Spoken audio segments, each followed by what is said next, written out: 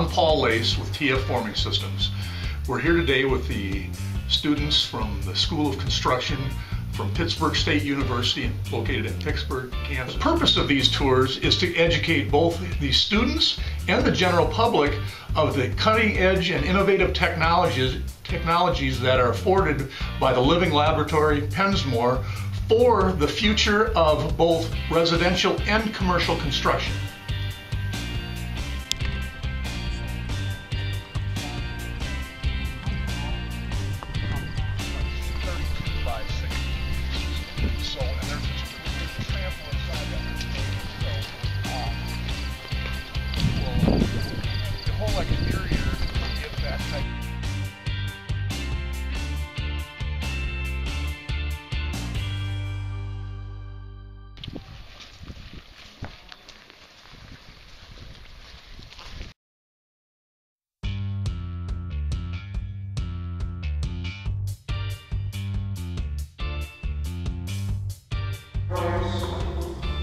Again, you can see some of the text tubing coming in and out of the wall.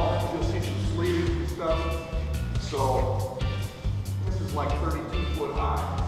Um, we were on some floors that we were doing, we were pouring as much as 240 plus yards of concrete on this, and we poured less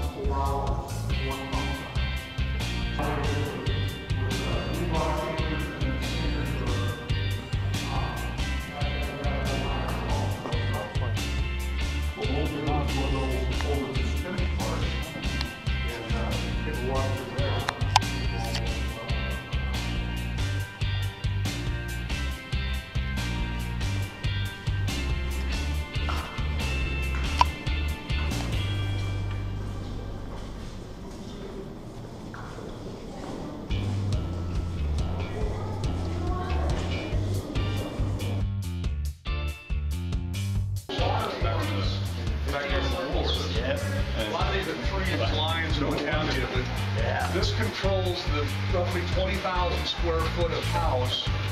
So we get a little condensation going on in here, but basically, when the uh, engineers from the uh, geothermal company took a look at the system or the house for this area, they uh, modeled what they thought would be required, and they said it should take like 30 tons of capacity in heating and cooling.